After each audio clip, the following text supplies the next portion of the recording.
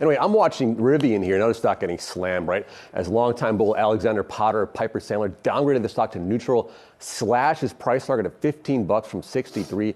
The concern here being Rivian's cash crunch. Potter sees a $4 billion capital raise in the cards at some point in the next year or two, with investors not wanting to foot the bill there. Now, Potter still believes in the long term vertical integration strategy of the company. He Just he sees the benefits of that coming from years from now. But as of right now, really, I mean, the company good tech, good IP, very interesting long-term strategy of really building everything in-house. But right now, the costs are just too much, and potentially maybe down the line they'll get those scale benefits. I mean, it's one of those things. You keep waiting for Rivian to, to finally hit its yeah. stride. First, it was some of the production delays.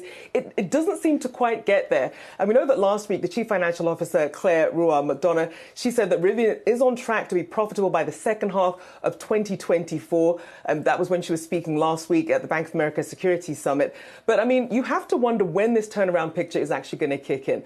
Now, obviously, we remember when it took a while for Tesla to become profitable, but this is a very different story. Rivian is, is definitely not in that in that same uh, conversation with Tesla. Still waiting for it to pick up, and really not seeing that now, and seeing the stock price punished for it, as you were saying there, Pras.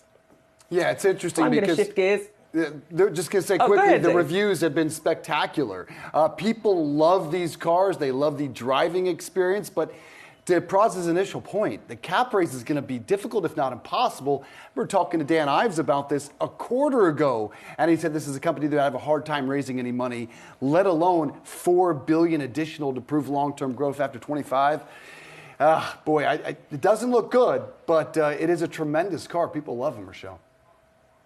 It's true. I, I, see them all over DC and Maryland, yeah, so people people are same. definitely buying them, but just, just try to get over that first hurdle.